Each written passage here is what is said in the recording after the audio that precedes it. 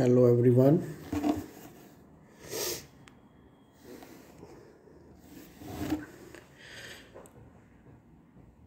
My name is Sarabjit Singh.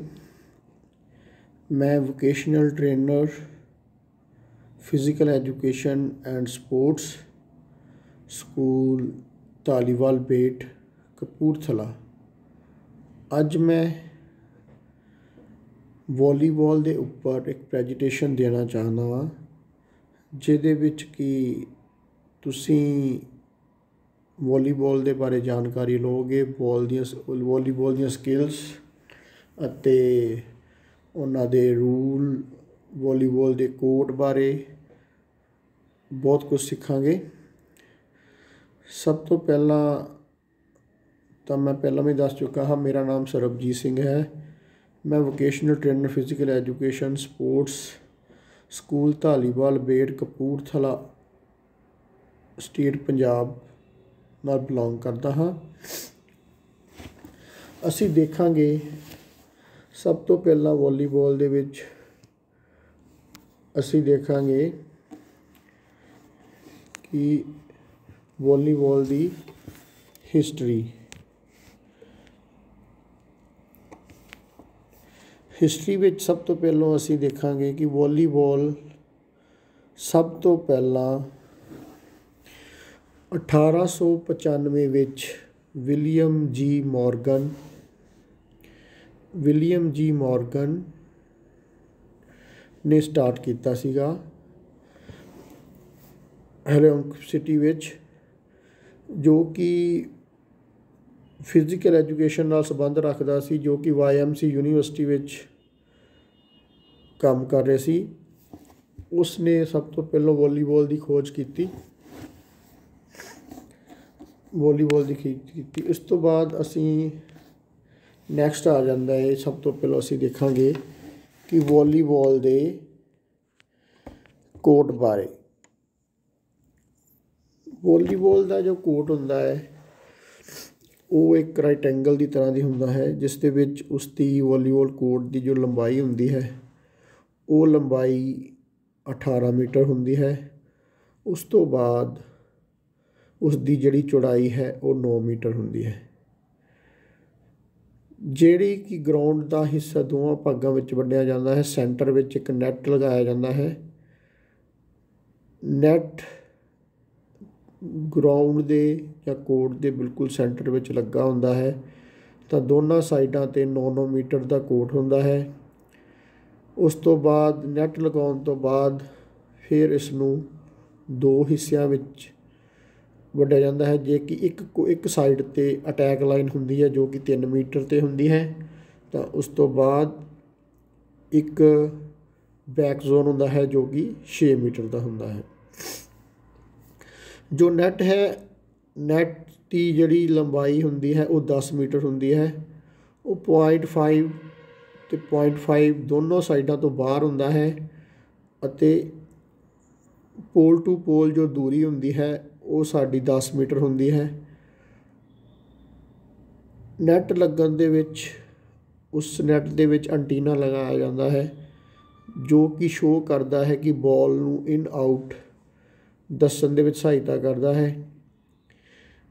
ਉਸ ਨਾਲ ਪਤਾ ਲੱਗ ਜਾਂਦਾ ਹੈ ਕਿ ਬਾਲ ਗਰਾਊਂਡ ਦੇ ਅੰਦਰ ਹੈ ਜਾਂ ਬਾਹਰ ਹੈ। ਤਾਂ ਇਹ ਐਂਟੀਨਾ ਜੋ ਕਿ ਨੈਟ ਦੀ ਜਿਹੜੀ ਚੌੜਾਈ 1 ਮੀਟਰ ਹੁੰਦੀ ਹੈ, ਉਹ ਨੈਟ 1 ਮੀਟਰ ਨੈਟ ਦੇ ਅੰਦਰ ਹੁੰਦਾ ਹੈ ਤੇ 0.80 ਸੈਂਟੀਮੀਟਰ ਨੈਟ ਤੋਂ ਉੱਪਰ ਹੁੰਦਾ ਹੈ। ਐਂਟੀਨੇ ਨੂੰ ਦੋ ਰੰਗ ਦੇ ਵਿੱਚ ਰੱਖਿਆ ਹੁੰਦਾ ਹੈ, ਇੱਕ ਲਾਲ ਅਤੇ ਚਿੱਟਾ। ਇਸ ਤੋਂ ਬਾਅਦ ਗਰਾਊਂਡ ਤੋਂ ਕੋਰਟ ਤੋਂ ਬਾਅਦ ਅਸੀਂ ਨੈਕਸਟ ਆਪਾਂ ਦੇਖਾਂਗੇ। ਨੈਕਸਟ ਆਪਾਂ ਦੇਖਾਂਗੇ ਕਿ ਆ ਦੇਖੋ, ਜਿਸ ਤਰ੍ਹਾਂ ਕਿ ਤੁਹਾਨੂੰ ਡਾਇਗਰਾਮ ਵਿੱਚ ਦੱਸਿਆ ਗਿਆ ਹੈ, ਇਸ ਤੋਂ ਬਾਅਦ ਇਹਦੇ ਵਿੱਚ ਸਰਵਿਸ ਏਰੀਆ ਵੀ ਦੱਸਿਆ ਗਿਆ ਹੈ। ਸਰਵਿਸ ਏਰੀਆ 9 ਮੀਟਰ ਤੱਕ ਸਰਵਿਸ ਏਰੀਆ ਹੁੰਦਾ ਹੈ। ਅਰੇ ਨਾਲ ਹੀ ਇਹਦੇ ਵਿੱਚ ਦੱਸਿਆ ਗਿਆ ਹੈ ਕਿ ਨੈਟ ਦੀ ਜਿਹੜੀ ਉਚਾਈ ਹੈ ਉਹ ਬॉयਜ਼ ਅਤੇ ਗਰਲਸ ਵਾਸਤੇ ਕਿੰਨੀ ਹੁੰਦੀ ਹੈ? ਬॉयਜ਼ ਵਾਸਤੇ ਨੈਟ ਦੀ ਉਚਾਈ 2.43 ਮੀਟਰ ਹੁੰਦੀ ਹੈ ਅਤੇ ਗਰਲਸ ਵਾਸਤੇ, ਸੀਨੀਅਰ ਗਰਲਸ ਵਾਸਤੇ ਨੈਟ ਦੀ ਉਚਾਈ ਹੁੰਦੀ ਹੈ, ਉਹ 2.24 ਮੀਟਰ ਹੁੰਦੀ ਹੈ। ਅਗਰ ਅਸੀਂ ਦੇਖਿਆ ਜਾਵੇ ਤਾਂ ਅਗਰ ਜੂਨੀਅਰ ਸਟੂਡੈਂਟਸ ਅੰਡਰ 14 ਬॉयਜ਼ ਦੀ ਵਾਸਤੇ ਵੀ ਨੈਟ ਦੀ ਉਚਾਈ ਹੈ, ਉਹ 2.24 ਹੁੰਦੀ ਹੈ। ਇਸ ਤੋਂ ਅੱਗੇ ਅਸੀਂ ਦੇਖਾਂਗੇ, ਇਸ ਦੇ ਵਿੱਚ ਕੁਝ ਫਾਲ ਦੱਸੇ ਗਏ ਨੇ, ਵਾਲੀਬਾਲ ਦੇ ਫਾਲ, ਉਹਨਾਂ ਬਾਰੇ ਮੈਂ ਐਕਸਪਲੇਨ ਕਰਨ ਆ ਰਿਹਾ। ਪਹਿਲਾ ਫਾਉਲ ਜਿਸ ਤਰ੍ਹਾਂ ਦੱਸਿਆ touch or go over the line when you are serve ਅਗਰ ਅਸੀਂ ਸਰਵਿਸ ਕਰਦੇ ਹਾਂ ਤਾਂ ਸਰਵਿਸ ਕਰਦੇ ਸਮੇਂ ਸਾਡਾ ਜਿਹੜਾ ਪੈਰ ਹੈ, ਉਹ ਸਰਵਿਸ ਲਾਈਨ ਜਾਂ ਐਂਡ ਲਾਈਨ ਦੇ ਉੱਪਰ ਟੱਚ ਨਹੀਂ ਕਰਨਾ ਚਾਹੀਦਾ। ਅਸੀਂ ਉਸ ਐਂਡ ਲਾਈਨ ਤੋਂ ਪਿੱਛੋਂ ਹੀ ਸਰਵਿਸ ਕਰ ਸਕਦੇ ਹਾਂ। ਇਸ ਤੋਂ ਬਾਅਦ ਅਸੀਂ ਸੈਕਿੰਡ ਆਏਗਾ ਟੱਚ ਦਾ ਨੈਟ ਅਸੀਂ ਨੈਟ ਨੂੰ ਬਿਲਕੁਲ ਨਹੀਂ ਛੂ ਸਕਦੇ ਖੇਡ ਦੇ ਦੌਰਾਨ। ਡਿਊਰਿੰਗ ਅਸੀਂ ਗੇਮ ਚੱਲਦੀ ਪਈ ਹੈ ਤਾਂ ਅਸੀਂ ਅਗਰ ਨੈਟ ਨੂੰ ਟੱਚ ਕਰ ਦਾਂਗੇ, ਉਹ ਫਾਉਲ ਹੋਏਗਾ। ਜਿਸ ਤਰ੍ਹਾਂ ਕਿ ਆਪਾਂ ਸਮੈਸ਼ ਕਰਨ ਲੱਗੇ ਆ ਬਲੌਕਿੰਗ ਕਰਨ ਲੱਗੇ ਆ ਜਾਂ ਲਿਫਟਿੰਗ ਕਰਨ ਲੱਗਿਆ ਅਸੀਂ ਨੈਟ ਨੂੰ ਟੱਚ ਕਰਦੇ ਹਾਂ ਤਾਂ ਸਾਡਾ ਇਹ ਫਾਉਲ ਮੰਨਿਆ ਜਾਏਗਾ। ਉਸ ਤੋਂ ਬਾਅਦ ਕੈਰੀ ਦਾ ਬਾਲ ਬਾਲ ਨੂੰ ਅਸੀਂ ਫੜ ਨਹੀਂ ਸਕਦੇ। ਬਾਲ ਨੂੰ ਅਸੀਂ ਕੈਚ ਨਹੀਂ ਕਰ ਸਕਦੇ।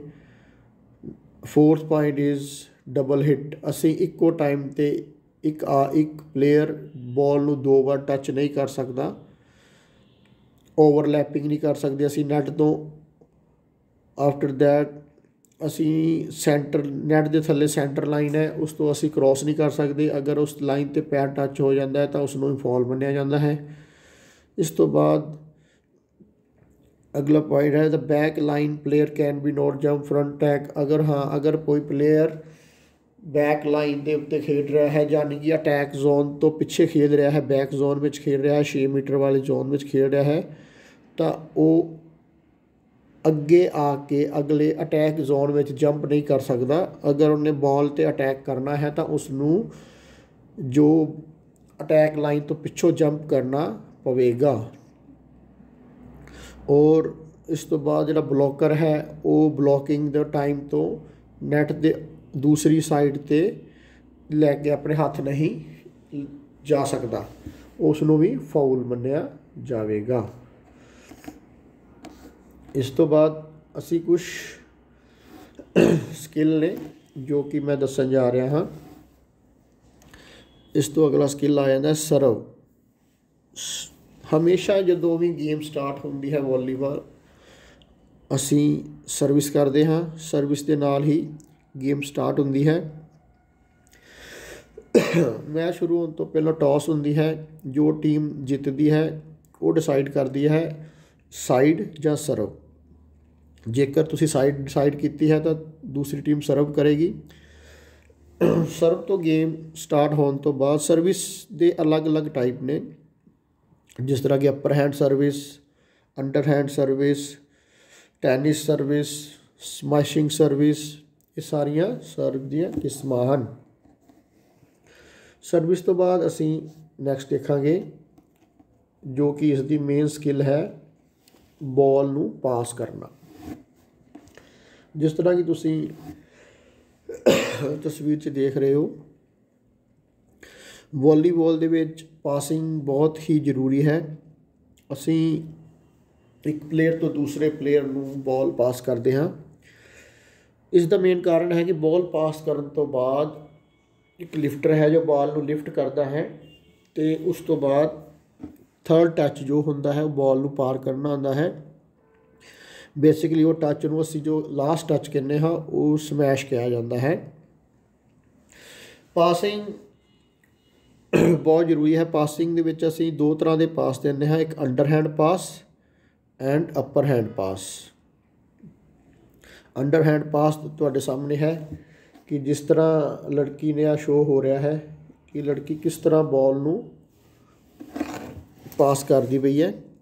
ਉਸ ਤੋਂ ਬਾਅਦ ਬਾਲ ਅਪਰ ਹੈਂਡ ਪਾਸ ਜਿਸ ਤਰ੍ਹਾਂ ਅਸੀਂ ਇਸ ਬਾਹਾਂ ਉੱਪਰ ਚੁੱਕ ਕੇ ਬਾਲ ਨੂੰ ਪਾਸ ਕਰ ਰਹੇ ਹਾਂ। ਇਹ ਦੋ ਤਰ੍ਹਾਂ ਦੇ ਪਾਸ ਹੁੰਦੇ ਆ। ਉਸ ਤੋਂ ਬਾਅਦ ਸੈਟਿੰਗ ਸੈਟਿੰਗ ਵੀ ਇੱਕ ਚੀਜ਼ ਹੁੰਦੀ ਹੈ।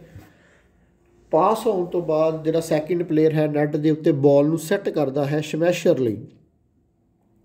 ਬਾਲ ਨੂੰ ਉਹ ਪ੍ਰੋਪਰ ਤਰੀਕੇ ਨਾਲ ਪਾਸਿੰਗ ਤੋਂ ਬਾਅਦ ਅਸੈਪਟ ਕਰਦਾ ਹੈ ਲਿਫਟਰ ਸੈਟਰ ਬਾਲ ਸੈੱਟ ਕਰਦਾ ਹੈ ਨੈਟ ਦੇ ਉੱਤੇ। ਸੈਟਰ ਨੂੰ ਅਸੀਂ ਲਿਫਟਰ ਵੀ ਕਹਿ ਸਕਦੇ ਹਾਂ ਬੂਸਟਰ ਵੀ ਕਹਿ ਸਕਦੇ ਹਾਂ। ਠੀਕ ਹੈ।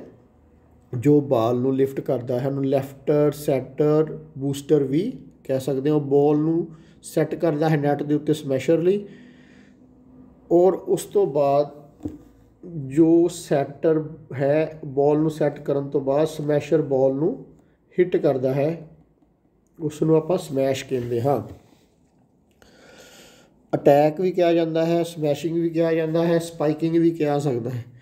ਅਸੀਂ ਇਸ ਨੂੰ ਤਿੰਨ ਚੀਜ਼ਾਂ ਨਾਲ ਕਹਿ ਸਕਦੇ ਹਾਂ। ਜਿਵੇਂ ਕਿ ਤੁਸੀਂ ਪਿੱਛੇ ਵੇਖਿਆ, ਜਿਹੜਾ ਬਾਲ ਸੈੱਟ ਕਰਦਾ ਹੈ ਉਸ ਨੂੰ ਆਪਾਂ ਸੈਂਟਰ ਵੀ ਕਹਿੰਦੇ ਹਾਂ ਲਿਫਟਰ ਵੀ ਕਹਿੰਦੇ ਹਾਂ ਔਰ ਬੂਸਟਰ ਵੀ ਕਹਿੰਦੇ ਹਾਂ। ਇਸ ਤੋਂ ਬਾਅਦ ਕੀ ਆਪਾਂ ਦੇਖਦੇ ਹਾਂ ਕਿ ਅਗਲਾ ਜੋ ਆਪਣਾ ਹੈ, ਉਹ ਹੈ ਅਟੈਕਰ ਜਦੋਂ ਪਾਸਿੰਗ ਤੋਂ ਬਾਅਦ ਜਿਹੜਾ ਲਿਫਟਰ ਹੈ ਬਾਲ ਨੂੰ ਲਿਫਟ ਕਰਦਾ ਹੈ, ਤਾਂ ਉਸ ਤੋਂ ਬਾਅਦ ਸਮੈਸ਼ ਵੱਜਦੀ ਹੈ, ਜੋ ਕਿ ਬਹੁਤ ਹੀ ਤੇਜ਼ ਤਲਾਰ ਤਰੀਕੇ ਨਾਲ ਗਰਾਊਂਡ ਤੇ ਹਿੱਟ ਕਰਨ ਲਈ ਕੀਤੀ ਜਾਂਦੀ ਹੈ, ਜੋ ਕਿ ਇਸ ਵਿੱਚ ਜੋ ਸਮੈਸ਼ਰ ਹੈ, ਆਪਣਾ ਜੰਪ ਲੈ ਕੇ ਨੈਟ ਤੋਂ ਉੱਪਰ ਜੰਪ ਲੈ ਕੇ ਪੂਰੀ ਫੋਰਸ ਨਾਲ ਬੋਲ ਨੂੰ ਦੂਸਰੇ ਓਪੋਨੈਂਟ ਦੇ ਕੋਰਟ ਵਿੱਚ ਹਿੱਟ ਕਰ ਸਕਦਾ ਹੈ ਬਾਲ ਨੂੰ ਬਾਲ ਡੈਡ ਹੋ ਸਕੇ ਤਾਂ ਜੋ ਪੁਆਇੰਟ ਮਿਲ ਸਕੇ। ਇਹ ਤੀਸਰੀ ਸਕਿੱਲ ਹੈ। ਉਸ ਤੋਂ ਬਾਅਦ ਬਲੌਕਿੰਗ ਜਾਂ ਬਲੌਕ ਜਦੋਂ ਵੀ ਜਿਹੜਾ ਅਟੈਕਰ ਹੈ ਜਾਂ ਸਮੈਸ਼ਰ ਹੈ ਲਿਫਟਿੰਗ ਤੋਂ ਬਾਅਦ ਬੋਲ ਨੂੰ ਬਹੁਤ ਜ਼ੋਰ ਦੀ ਹਿੱਟ ਕਰਦਾ ਹੈ ਨੈਟ ਦੇ ਉੱਪਰੋਂ, ਤਾਂ ਉਸ ਤੋਂ ਬਾਅਦ ਦੂਸਰੀ ਟੀਮ ਉਹ ਬਾਲ ਨੂੰ ਰੋਕਣ ਵਾਸਤੇ ਬਲੌਕ ਕਰਦੀ ਹੈ। ਬਲੋਕਿੰਗ ਵਿੱਚ ਪੂਰੇ ਬਾਹ ਨੈਟ ਤੋਂ ਉੱਪਰ ਲੈ ਕੇ ਤੁਸੀਂ ਫੋਟੋ ਵਿੱਚ ਦੇਖ ਰਹੇ ਹੋ। ਨੈਟ ਦੇ ਉੱਪਰੋਂ ਬਲੌਕ ਕਰ ਰਿਹਾ ਹੈ। ਬਲੌਕਿੰਗ ਤਿੰਨ ਤਰ੍ਹਾਂ ਦੀ ਹੁੰਦੀ ਹੈ। Single block, double block, triple block. ਇਸ ਨੂੰ ਬਲੌਕ ਕਰਨ ਵਾਸਤੇ ਅਸੀਂ ਪਿਕਚਰ ਜਿਸ ਤਰ੍ਹਾਂ ਦੇਖ ਰਿਹਾ ਹੈ ਕਿ ਦੋ ਪਲੇਅਰ ਬਲੌਕ ਕਰਦੇ ਨੇ। ਸਿੰਗਲ ਵੀ ਕਰ ਸਕਦਾ ਹੈ, ਦੋ ਵੀ ਕਰ ਸਕਦੇ ਨੇ। ਤਿੰਨ ਪਲੇਅਰ ਵੀ ਬਾਲ ਨੂੰ ਸਮੈਸ਼ ਨੂੰ ਰੋਕਣ ਵਾਸਤੇ ਬਲੌਕ ਕਰ ਸਕਦੇ ਨੇ। ਉਸ ਤੋਂ ਬਾਅਦ ਆਪਾਂ ਨੈਕਸਟ ਦੇਖਾਂਗੇ ਡਿਗ। ਇਹ ਵੀ ਇੱਕ ਸਕਿੱਲ ਹੈ। ਜਦੋਂ ਕਿ ਤੁਸੀਂ ਦੇਖ ਰਹੇ ਹੋ ਕਿ ਜਦੋਂ ਬਾਲ ਅਟੈਕ ਤੁਹਾਡੀ ਗਰਾਊਂਡ ਦੇ ਵਿੱਚ ਡਿੱਗ ਰਿਹਾ ਹੈ, ਤੁਹਾਡੀ ਸਾਈਡ ਤੇ ਡਿੱਗ ਰਿਹਾ ਹੈ, ਤਾਂ ਤੁਸੀਂ ਕੀ ਕਰੋਗੇ? ਉਸ ਨੂੰ ਇੱਕਦਮ ਡਿਗ ਛਾਲ ਲਗਾ ਕੇ, ਡਿਗ ਮੀਨਸ ਛਾਲ ਲਗਾ ਕੇ ਇੱਕ ਦੂਰੋਂ ਬਾਲ ਤੁਹਾਡੀ ਰੇਂਜ ਤੋਂ ਬਾਹਰ ਹੈ। ਤੁਸੀਂ ਬਾਲ ਨੂੰ ਛਾਲ ਲਗਾ ਕੇ ਉੱਤੇ ਹਿੱਟ ਕਰਨ ਦੀ ਕੋਸ਼ਿਸ਼ ਕਰੋਗੇ, ਬਾਲ ਨੂੰ ਬਿਲਕੁਲ ਅੱਗੇ ਥੱਲੇ ਹੱਥ ਦੇ ਬਾਲ ਨੂੰ ਉਹਨੂੰ ਡਿੱਗ ਕਿਹਾ ਜਾਂਦਾ ਹੈ। ਉਹਨੂੰ ਡਿੱਗ ਕਿਹਾ ਜਾਂਦਾ ਹੈ। ਇਸ ਤੋਂ ਬਾਅਦ ਅਸੀਂ ਨੈਕਸਟ ਦੇਖਾਂਗੇ। ਇਸ ਦੇ ਵਿੱਚ ਹਾਂ, ਅਸੀਂ ਨੈਕਸਟ ਦੇਖਦੇ ਹਾਂ ਕਿ ਇਸ ਤੋਂ ਵਿੱਚ ਆਪਣੇ ਕੋ ਆ ਗਿਆ ਹੈ ਕਿ ਮੈਚ ਕਿਸ ਤਰ੍ਹਾਂ ਹੁੰਦਾ ਹੈ। ਵਾਲੀਬਾਲ ਦੇ ਇੱਕ ਮੈਚ ਵਿੱਚ ਪੰਜ ਸੈੱਟ ਹੁੰਦੇ ਹਨ, ਇੰਟਰਨੈਸ਼ਨਲ ਰੂਲ ਦੇ ਅਕੋਰਡਿੰਗਲੀ ਪੰਜ ਸੈੱਟ ਦਾ ਮਤਲਬ ਕਿ ਅਸੀਂ ਦੇਖਦੇ ਹਾਂ ਕਿ ਇਸ ਵਿੱਚ ਪੰਜ ਸੈੱਟ ਜੋ ਕਿ ਜਿਹੜਾ ਵੀ, ਜਿਹੜੀ ਵੀ ਟੀਮ ਪੰਜ ਸੈੱਟ ਵਿੱਚੋਂ ਬੈਸਟ ਆਫ 3 ਤਿੰਨ ਸੈੱਟ ਜਿੱਤ ਜਾਂਦੀ ਹੈ, ਤਾਂ ਉਸ ਨੂੰ ਆਪਾਂ ਜੇਤੂ ਕਰਾਰ ਦਿੰਦੇ ਹਾਂ। ਹਰੇਕ ਸੈੱਟ ਵਿੱਚ 25 25 ਪੁਆਇੰਟ ਹੁੰਦੇ ਹਨ। ਜਿਵੇਂ ਕਿ ਅਸੀਂ ਦੇਖਦੇ ਹਾਂ ਕਿ ਜੇਕਰ ਦੋਨੋਂ ਟੀਮਾਂ ਦੋ ਦੋ ਸੈੱਟ ਜਿੱਤ ਜਾਂਦੀਆਂ ਹਨ, ਤਾਂ ਡਿਸੀਜਨ ਪੰਜਵੇਂ ਸੈੱਟ ਵਿੱਚ ਜਾ ਕੇ ਹੁੰਦਾ ਹੈ। ਪਰ ਉਸ ਪੰਜਵੇਂ ਸੈੱਟ ਵਿੱਚ ਥੋੜੇ ਚੇਂਜਸ ਹੁੰਦੇ ਨੇ ਪੁਆਇੰਟ ਦੇ। ਉਹ ਕੀ ਪੁਆਇੰਟਸ ਤੇ ਚੇਂਜਸ ਹੁੰਦੇ ਨੇ, ਆਪਾਂ ਦੇਖਦੇ ਹਾਂ ਕਿ ਵਾਲੀਬਾਲ ਦੇ ਵਿੱਚ ਪੰਜਵੇਂ ਸੈੱਟ ਵਿੱਚ 15 ਪੁਆਇੰਟ ਹੁੰਦੇ ਹਨ। ਬਾਕੀ ਪਹਿਲੇ 4 ਸੈੱਟ 25 25 ਪੁਆਇੰਟ ਦੇ ਹੁੰਦੇ ਹਨ। ਅਗਰ ਆਪਾਂ ਫਾਈਨਲ ਦੋ ਦੋ ਟੀਮਾਂ, ਦੋਨੋਂ ਟੀਮਾਂ ਦੋ ਦੋ ਸੈੱਟ ਜਿੱਤ ਜਾਂਦੀਆਂ ਹਨ। ਤਾਂ ਅਗਰ ਪੰਜਵੇਂ ਸੈੱਟ ਦੇ ਡਿਸੀਜਨ ਹੋਵੇਗਾ ਕਿ ਕਿਹੜੀ ਟੀਮ ਜਿੱਤੂਗੀ, ਉਸ ਦੇ ਵਿੱਚ ਅਸੀਂ 15 ਪੁਆਇੰਟ ਲੈਣੇ ਹੋਣਗੇ। ਜਿਹੜੀ ਟੀਮ ਪਹਿਲੋਂ 15 ਪੁਆਇੰਟ ਲੈ ਲੇਗੀ ਉਹ ਵਿਨਰ ਹੋਵੇਗੀ। ਇਸ ਤੋਂ ਬਾਅਦ ਆਪਾਂ ਦੇਖਦੇ ਹਾਂ ਨੈਕਸਟ ਕੀ ਹੈ। ਨੰਬਰ ਆਫ ਪਲੇਅਰ ਸਭ ਤੋਂ ਮੇਨ ਗੱਲ ਕਿ ਇੱਕ ਟੀਮ ਵਿੱਚ ਕਿੰਨੇ ਪਲੇਅਰ ਖੇਡਦੇ ਹਨ?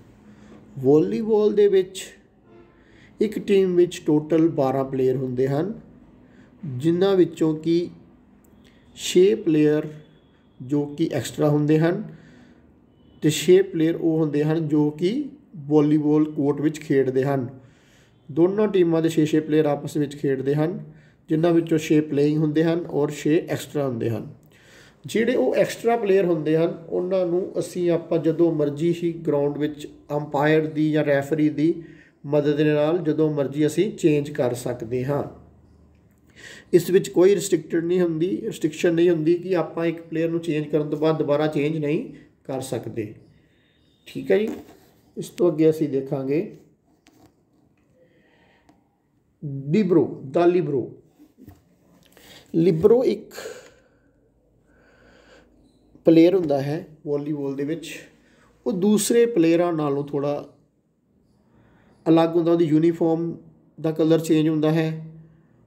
ਉਹ ਉਸ ਦਾ ਇੱਕ ਉਸ ਦੇ ਨਿਯਮ ਇਹ ਉਹ ਬਿਨਾ ਅੰਪਾਇਰ ਨੂੰ ਜਾਂ ਰੈਫਰੀ ਨੂੰ ਦੱਸੇ ਜਦੋਂ ਮਰਜ਼ੀ ਗਰਾਊਂਡ 'ਚ ਐਂਟਰ ਕਰ ਸਕਦਾ ਹੈ, ਜਦੋਂ ਮਰਜ਼ੀ ਬਾਹਰ ਆ ਸਕਦਾ ਹੈ ਬਟ ਉਹਦੀ ਅਗਰ ਜੇਕਰ ਲਿਬਰੋ ਖਿਲਾਵਾਂਗੇ ਤਾਂ ਉਹਦੀ ਜਗ੍ਹਾ ਤੇ ਇੱਕ ਪਲੇਅਰ ਬਾਹਰ ਹੋਵੇਗਾ ਤਾਂ ਲਿਬਰੋ ਅੰਦਰ ਜਾ ਸਕਦਾ ਹੈ। ਲਿਬਰੋ ਦੀ ਖਾਸੀਅਤ ਇਹ ਹੈ, ਉਹ ਇੱਕ ਡਿਫੈਂਡ ਡਿਫੈਂਡਿੰਗ ਪਲੇਅਰ ਹੁੰਦਾ ਹੈ ਜੋ ਕਿ ਡਿਫੈਂਸ ਕਰਦਾ ਹੈ, ਬਹੁਤ ਜ਼ਿਆਦਾ ਡਿਫੈਂਸਿੰਗ ਪਲੇਅਰ ਹੁੰਦਾ ਹੈ, ਉਹ ਅਟੈਕ ਜ਼ੋਨ ਵਿੱਚ ਖੇਡ ਨਹੀਂ ਸਕਦਾ, ਯਾਨੀ ਕਿ 3 ਮੀਟਰ ਅਟੈਕ ਜ਼ੋਨ ਵਿੱਚ ਨਹੀਂ ਖੇਡ ਸਕਦਾ, ਉਹ ਬੈਕ ਜ਼ੋਨ ਵਿੱਚ ਹੀ ਖੇਲਦਾ ਹੈ। ਤਾਂ ਉਸ ਦੀ ਜਿਹੜੀ ਯੂਨੀਫਾਰਮ ਦਾ ਰੰਗ ਹੈ, ਉਹ ਵੀ ਅਲੱਗ ਹੁੰਦਾ ਹੈ, ਦੂਸਰੀ ਪਲੇਅਰ ਦੇ ਨਾਲੋਂ ਕੰਟਰਾਸਟ ਹੁੰਦਾ ਹੈ। ਤਾਂ ਉਹ ਅੰਪਾਇਰ ਨੂੰ ਤੇ ਰੈਫਰੀ ਨੂੰ ਬਿਨਾਂ ਦੱਸਿਆ ਜਦੋਂ ਮਰਜ਼ੀ ਹੀ ਕੋਰਟ ਵਿੱਚ ਦਾਖਲ ਹੋ ਸਕਦਾ ਹੈ, ਜਦੋਂ ਮਰਜ਼ੀ ਬਾਹਰ ਆ ਸਕਦਾ ਹੈ। ਇਸ ਤੋਂ ਇਲਾਵਾ ਕੁਝ ਹੋਰ ਵੀ ਥੋੜ੍ਹੇ ਬਹੁਤੇ ਨਿਯਮ ਹੁੰਦੇ ਹਨ, ਜਿਸ ਵਿੱਚ ਅਸੀਂ ਆਪਾਂ ਦੇਖਾਂਗੇ ਕਿ ਵਾਲੀਬਾਲ ਦੇ ਵਿੱਚ ਇੱਕ ਰੋਟੇਸ਼ਨ ਹੁੰਦੀ ਹੈ। ਰੋਟੇਸ਼ਨ ਹੁੰਦੀ ਹੈ ਰੋਟੇਸ਼ਨ ਦੇ ਵਿੱਚ ਕੀ ਹੈ ਕਿ ਪਲੇਅਰ ਰੋਟੇਟ ਕਰਦੇ ਹਨ। ਜਦੋਂ ਵੀ ਸਰਵਿਸ ਚੇਂਜ ਹੁੰਦੀ ਹੈ ਪਲੇਅਰ ਰੋਟੇਟ ਕਰਦੇ ਹਨ। ਪਲੇਅਰਸ ਨੂੰ ਆਪਣੇ ਆਪਣੀ ਰੋਟੇਸ਼ਨ ਵਾਲੀ ਜਗ੍ਹਾ ਤੇ ਜਾਣਾ ਪੈਂਦਾ ਹੈ ਅਤੇ ਰੈਫਰੀ ਨੂੰ ਰੋਟੇਸ਼ਨ ਸ਼ੋ ਕਰਨੀ ਪੈਂਦੀ ਹੈ ਵਾਲੀਬਾਲ ਵਿੱਚ ਬਹੁਤ ਸਾਰੇ ਟੂਰਨਾਮੈਂਟ ਇੰਡੀਆ ਵਿੱਚ ਕਰਵਾਏ ਜਾਂਦੇ ਹਨ ਇੰਟਰਨੈਸ਼ਨਲ ਟੂਰਨਾਮੈਂਟ ਹੁੰਦੇ ਹਨ ਇਹ ਇੱਕ 올림픽 ਗੇਮ ਹੈ ਜੋ ਕਿ ਜਿਸ ਦਾ ਅੱਜ ਕੱਲ ਬਹੁਤ ਜ਼ਿਆਦਾ ਸਕੋਪ ਹੈ ਇੰਡੀਆ ਵਿੱਚ ਜਿਸ ਤਰ੍ਹਾਂ ਕਿ ਤੁਸੀਂ ਦੇਖਦੇ ਹੋ ਕਿ ਆਈਪੀਐਲ ਦੀ ਲੀਗ ਚੱਲ ਰਹੀ ਹੈ, ਇਸ ਤੋਂ ਇਲਾਵਾ ਬੈਡਮਿੰਟਨ ਲੀਗ ਚੱਲ ਰਹੀ ਹੈ, ਤਾਂ ਲਾਸਟ ਈਅਰ ਤੁਸੀਂ ਦੇਖਿਆ ਹੈ ਕਿ ਮਤਲਬ ਇੰਡੀਅਨ ਵਾਲੀਬਾਲ ਐਸੋਸੀਏਸ਼ਨ ਵੱਲੋਂ ਵਾਲੀਬਾਲ ਲਈ ਚੰਗਾ ਉਪਰਾਲਾ ਕੀਤਾ ਗਿਆ। ਇਹਨਾਂ ਨੇ ਵੀ ਦੂਸਰੀਆਂ ਖੇਡਾਂ ਦੀ ਤਰ੍ਹਾਂ, ਕ੍ਰਿਕਟ ਦੀ ਤਰ੍ਹਾਂ, ਬੈਡਮਿੰਟਨ ਦੀ ਤਰ੍ਹਾਂ, ਫੁੱਟਬਾਲ ਦੀ ਤਰ੍ਹਾਂ ਆਪਣੀ ਲੀਗ ਸ਼ੁਰੂ ਕੀਤੀ ਹੈ। ਵਾਲੀਬਾਲ ਲੀਗ ਜੋ ਕਿ ਪਿਛਲੇ ਸਾਲ ਹੀ ਕਰਵਾਈ ਗਈ। ਸੋ ਮੈਂ ਸਰਬਜੀਤ ਸਿੰਘ ਤੁਹਾਡੇ ਤੋਂ ਆਗਿਆ ਲੈਣਾ ਹਾਂ। ਬਹੁਤ ਬਹੁਤ ਧੰਨਵਾਦ। ਮੈਂ ਆਸ ਕਰਦਾ ਹਾਂ ਕਿ ਤੁਸੀਂ ਵਾਲੀਬਾਲ ਬਾਰੇ ਜਿੰਨਾ ਕੀ ਜਾਣਕਾਰੀ ਦੇ ਸਕਿਆ ਹਾਂ, ਉਸ ਤੋਂ ਕਾਫੀ ਕੁਝ ਜਾਣਕਾਰੀ ਪ੍ਰਾਪਤੀ ਕੀਤੀ ਹੋਏਗੀ। ਤੋ ਐਸੇ ਗੱਲ ਤੋਂ ਮੈਂ ਆਪ ਜੀ ਤੋਂ ਇਜਾਜ਼ਤ ਮੰਗਦਾ ਹਾਂ। ਧੰਨਵਾਦ Sarabjit Singh vocational trainer physical education sports Dhaliwal Bet Kapurthala. Thank you ਜੀ।